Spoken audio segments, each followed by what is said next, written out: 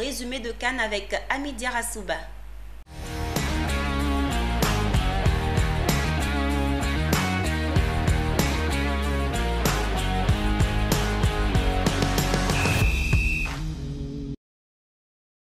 De retour sur le plateau, nous sommes en compagnie de notre journaliste sportive Amidia Rassouba.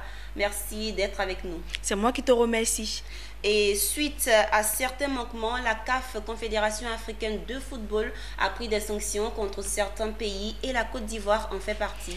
La CAF, la Confédération africaine de football, a infligé une amende de 4 425 euros, ce qui fait environ 2 876 250 francs CFA à la Côte d'Ivoire pour envahissement du terrain par les supporters lors du match qui l'opposait à l'Algérie. Selon certaines sources, la FIF, la Fédération ivoirienne de football, aurait fait appel à cette décision. Et parlons d'Algérie, le pays n'a pas échappé à cette amende.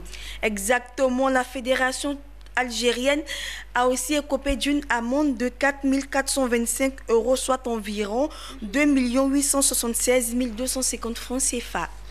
Et amis, comme si ça ne suffisait pas, la Tunisie, deux amendes, quels sont les motifs? Alors la fédération tunisienne, quant à elle, écope de deux sanctions et un rappel à l'ordre.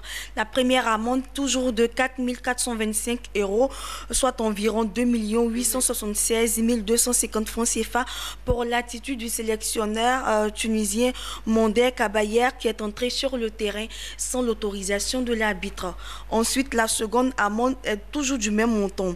Elle a été infligée pour mauvaise conduite du portier tunisien qui a utilisé un langage vulgaire pour s'adresser euh, à l'arbitre. Alors, c'est sans commentaire, amis. Et si on revenait sur l'événement tragique qui s'est déroulé lors du match opposant le Cameroun aux Comores? Alors, huit morts et une cinquantaine de blessés, c'est le bilan de la tragique bousculade qui a eu lieu hier devant le stade Olympé lorsque l'équipe, le pays hôte, le Cameroun, affrontait le Comores comptant pour les huitièmes de finale de la Coupe d'Afrique des Nations qui se joue en ce moment même en terre camerounaise. Le communiqué a été rendu public par le ministère de la Santé camerounaise. Alors on espère que tout rentrera dans l'ordre. Si Dieu le veut. Quelle est donc l'affiche des derniers matchs des huitièmes de finale? Alors l'affiche de ce mercredi se présente comme suit. Sur le coup de 16h GMT, la Côte d'Ivoire sera face à l'Égypte et à 19h GMT, le Mali affrontera la Guinée équatoriale. Eh bien, amis, c'est tout ce qu'il y avait à savoir pour ce résumé de Cannes pour aujourd'hui.